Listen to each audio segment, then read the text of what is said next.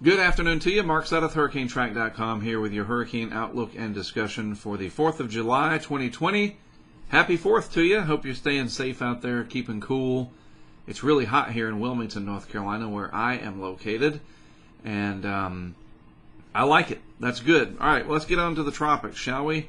Uh, I said that things were probably going to stay quiet, and right on cue, they don't. but at least we don't have to worry about any hurricanes no major impacts from anything. That still holds true. We do have tropical depression number five, born out of this little area of energy that's been kind of stretched across the western Atlantic. I'll show you that in a moment. We can see that very readily apparent in the vorticity signature data. We'll get to that in just a moment. As I said, uh, currently the depression located between Cape Hatteras, which is here, and Bermuda, which is there and pressure is 1,009 millibars, moving to the east northeast at about 17 miles per hour. The forecast for it is to move just to the north of Bermuda, maybe becomes a tropical storm. If so, the name will be Edouard, and it'll be the earliest fifth name storm since 1851, I guess, since records have been kept, whatever. But do not let that fool you necessarily into thinking, oh, more 2020, you know, of course, here we go. These storms that are forming off the coast here of North America are not related at all to the meat of the hurricane season that is coming next month and beyond, maybe even this month, as I'll show you, potentially. Uh, in other words, the strong tropical waves that we get that roll off of Africa, these systems like TD5, like Dolly, like Arthur, right, Bertha, those are um, mid latitude impulses of energy that come off the continent of North America and become tropical or subtropical in nature. It's still a symptom that the atmosphere and the ocean are primed, but we're not introducing these large tropical waves into the equation just yet. So it may be just a little bit of a correlation, but not a lot. Put it that way. Don't don't worry too much about this uh, as a sign that oh my gosh, it's going to be horrible. This doesn't necessarily have anything to do with that. All right, the horribleness will come later, so to speak, when the tropical waves get really uh, vigorous off of Africa. And it's true. I mean, we could have a very very active season, and yes, for some people it could be horrible, but we're not there yet. So don't worry too much about this. Um, the satellite imagery tells the tale here. You can see this pretty clearly here. Uh, lots of energy kind of stretched out here over thousands of miles as this trough and uh, trailing front has kind of stalled out here. Notice too the very large amount of and prevalent amount of convection right here, right here, right here. Lots of convection over here, even a tropical wave with some active convection heading into the northeast part of South America. So, a lot more in the way of upward motion and rising motion in the atmosphere, or what we call convection. And here is our tropical depression over here. There's Bermuda, and um, we'll look at a close up of that in just a moment. As we slide to the east just a little bit, by the way, these satellite animations, these two that I just showed you, courtesy of Tropical Tidbits, and even off the coast of Africa, some convection here, a little bit more in the way of moisture out in the main development region. Dry Saharan air layer influence coming off to the north, which you would expect. Uh, tropical wave maybe getting sheared pretty bad over here. But again, look at all these areas of thunderstorms, lots of them, and it's only very early July. I tell you, as the month goes on, I do believe that we will see something try to get its act together somewhere in this region through here, uh, as I talked about in the video discussion from a couple of days ago. All right, so let's zoom in. Oh, hold on. I wanted to show you the vorticity. And this is cool. So here it is from the cloud cover perspective. And again, here's the string of convection, little blobs of thunderstorms here and there. And then you can go and kind of look underneath those clouds and see how much energy there is, or vorticity is one way to look at it, spin in the atmosphere. There's the depression right there. Here's some energy here. Lots of energy spread out over a large area. a couple of concentrations here, here, and here. And so it's not surprising considering the overall favorability of this part of the Atlantic through here that occasionally these little vortmaxes, these little blobs of energy, do get their act together and develop into a small, cohesive named storm. You know, it's it's not surprising. And no, they are not wastes of a name. Some people argue about that, and it's irritating because I mean the National Hurricane Center forecasts for more than just coastal interests. You know, believe it or not, there are shipping interests between Bermuda, which is here, and the east coast of the United States or elsewhere in the northern hemisphere. And look, there's the system right there. There's the depression. That's a large weather system. And if you're uh, caught unaware, you don't know that it's there, it can create a lot of problems for you, capsize your boat. And we can just look at the satellite imagery. You can see as well as I can uh, a defined circulation in here, a little bit of thunderstorm activity. It's not very well organized. And in fact, you've got that Look at that outflow boundary right there. Wow, that's incredible. That'd be really cool if you saw that. If you're sitting out in a boat and you saw that thing racing out. And that's a sign that it's not very well organized. Some dry air helping to collapse those thunderstorms and send that little boundary out. And as for Bermuda, you're going to get some rain. There's some thunderstorms headed your way now. Uh, and so this will fill up the tanks. We call that tank rain. I've learned about that from a couple of our supporters and friends over in Bermuda. I've been to Bermuda a couple times myself for storms.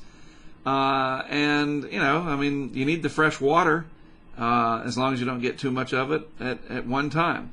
But nevertheless, there it is. TD5 probably going to become a name storm at some point if it can become a little bit better organized than what you see here. Uh, but again, I think it's really neat to see and important to point out all these little pieces of energy kind of lined up along the grapevine. These are your ripe grapes or your tomatoes or whatever. Whatever, it doesn't matter. There you go. Uh, and then down in the deep tropics, a little bit more energy starting to show up, very low on the vorticity scale, as it were. Um, but that's coming. And then in the uh, Eastern Pacific, here's a candidate for development. But once again, no worries for the Pacific coast of Mexico. Still looking nice for that area. All right, uh, so we looked at this. Now let's look at that. Uh, the water temperatures, just in case you were wondering. So Bermuda is located roughly in this area, right through here. And the water temperatures, this is the 26 Celsius, the yellow.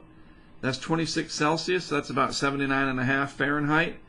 This color in here, whatever you call that, between green and yellow, is 25 Celsius. So water temperatures are not particularly warm as uh, as this system scoots off to the north and east, and in fact they get a little cooler here, uh, 24 degrees Celsius inside that green, and so sea surface temperatures will be decreasing. Uh, so this doesn't have a very big window of opportunity to develop for what it's worth. And also, right up against the coast of the Carolinas now, all of a sudden, water temperatures are 27 Celsius, about 81 at the beach, 80, 81 Fahrenheit. 28 Celsius not far offshore, a nice stripe of 29 Celsius. Even way up here at this far north, 29 degrees Celsius at about almost 38 degrees north latitude. Very warm in the western Atlantic. All right, so what does uh, the next five to seven days hold? Well, here's the Atlantic Basin, west coast of Africa here, North America over on the left side. You get the idea. Hopefully, you know your geography. Now we're looking for these little blobs right here. That's the depression represented in the vorticity field at 850 millibars up in the air. That's about 5,000 feet.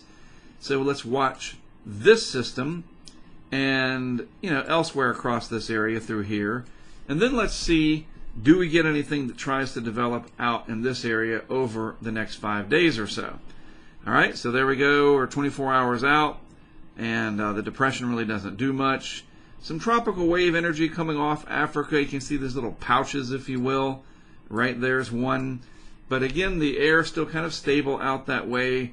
Not very favorable in terms of moisture. The Saharan air layer doing its thing. Uh, 96 hours out. Still nothing in the deep tropics. Definitely these impulses, though. You can see a tropical wave there. Uh, another one through here. Maybe a weak one right in here. Hard to say, but they're out there, but being that it's early July, they typically do not develop. Going on out to day five, day six, day seven. All right, so really kind of a quiet pattern overall with no hurricanes seen. And since most people focus on hurricanes, is it going to be a hurricane? If it's not, I don't care. That's how a lot of people look at it. Well, people do care about other events, depressions and storms.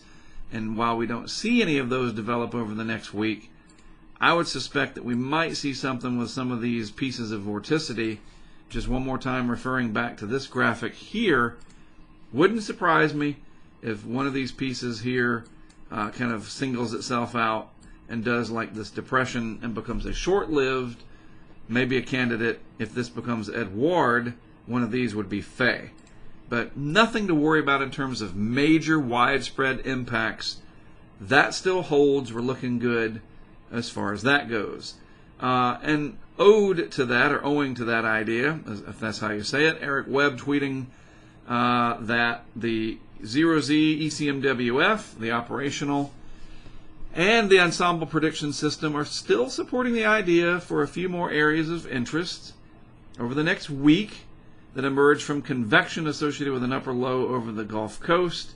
So this is what some of the ensemble members are showing, and a few little hints way out here in the deep tropics, but nothing solid just yet. This is just kind of noise, if you will, picked up by the ensemble guidance. Here's the operational from last night. Again, valid out at about a week, right off the coast of the Carolinas, perhaps. And, you know, this is typical, okay? The atmosphere and the ocean primed, wanting to develop something. So if you drop these pieces of energy down here, they just might develop. But so far, nothing to worry about as of yet. So I wanted to share this with you real quick. I like it when people share things with me. And uh, Brad here, he's uh, from the Tampa area, I believe um, sent me these pictures. Do you know what this is from? Yes, this is from the famous telephone pole at Mexico Beach. He took these, I guess, today and sent these to me today, tagged me on Twitter.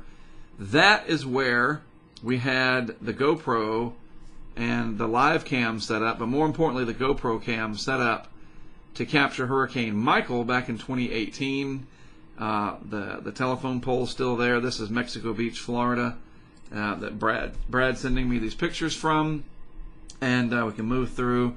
Uh, there's another shot of it, and yet another. This is the gas station that was there, and a close up of the Gorilla Tape. Holding on strong now, still there. That's the bracket. The GoPro actually, the box would sit right here, and kind of put a little thing on it. That's the camera, if you will, and it looked out in this direction. And just to remind you, what did it see? That's what it saw. That's the view from that pole. This is about a little after 10:30 in the morning or so on October 10th, and we move through. You remember what happened? Yep. And there was the aftermath. So that's what it looked like in the hours, minutes after Michael passed. This is what it looks like today that's incredible. I really, really appreciate Brad. Uh, I mean, this is to me like a historic marker, and it means a lot that people are thinking of uh, our projects in a way. You know, it gets your attention. It really does. It helps you remember.